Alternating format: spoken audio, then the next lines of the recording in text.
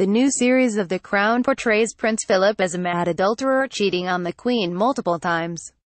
The Netflix show suggests he was romantically involved with women on a 19,567 world tour without his wife. Matt Smith and Claire Foy are back in Series 2 of The Crown in the drama. The solo journey is described as a five-month stag do, horrors in every port.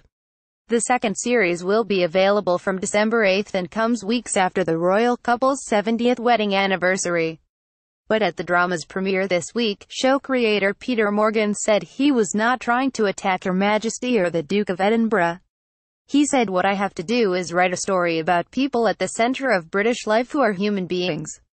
The drama features the Queen and Prince Philip Claire Foy, Matt Smith, Vanessa Kirby star in the anticipated sequel if you're hoping that tries to pick holes in the royal marriage, I wouldn't dream of it.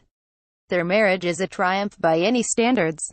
The 10-part series sees Claire Foy, 33, and Matt Smith, 35, reprise their roles as the Queen and Prince Philip 10 years into the royal marriage. The Queen's suspicions of cheating are aroused when she finds a picture of a dancer in Philip's bag.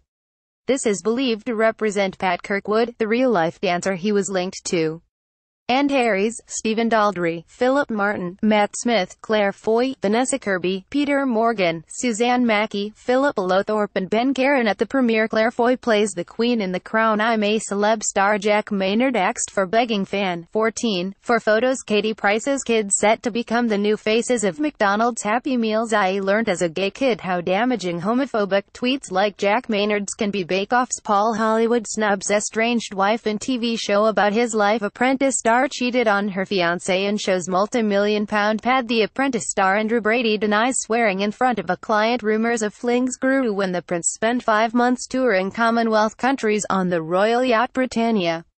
In the drama he meets native women from Papua New Guinea and Tonga. His private secretary writes Nowhere on earth have we seen such beautiful women. We tear ourselves away, each of us not a little bit, but a great deal, in love. Prince Harry will guest edit BBC Radio 4's Today program and is working on a show which will highlight issues from youth violence to conservation. Trailer for Season 2 of Netflix series The Crown